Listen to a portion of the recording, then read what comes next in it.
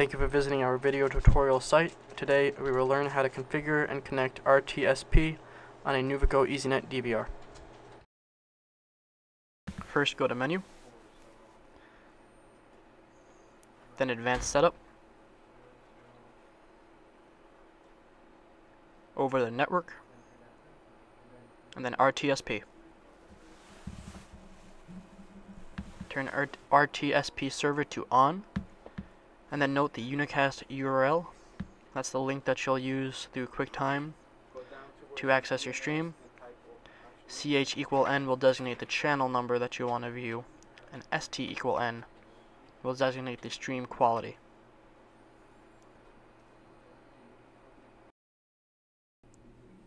After this, hit save, and then cancel out of the menu.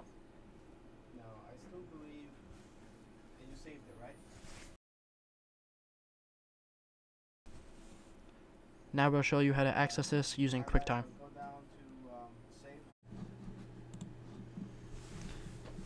Okay, now that we've activated RTSP on the DVR, first thing we'll do is set up QuickTime so it can correctly stream. First, after you've opened QuickTime, go to Edit, and then Preferences, and then go to QuickTime Preferences. Go to the Advanced tab, and you'll see Video option set it to safe mode, and apply and OK. Now go to File, and then Open URL. In here we'll put the URL that we obtained earlier from the DVR. First part will be RTSP, and then follow it with the host name or public IP address of the DVR.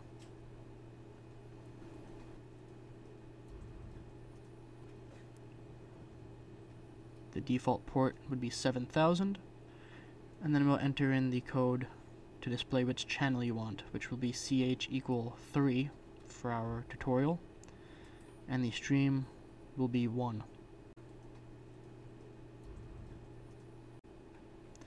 Click OK.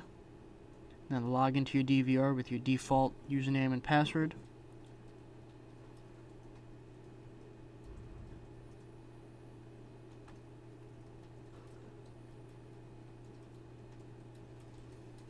And that's it. You've completed the uh, setup for RTSP on a NUVICO DVR.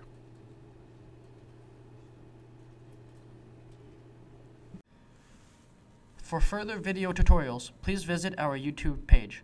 Thank you for choosing NUVICO.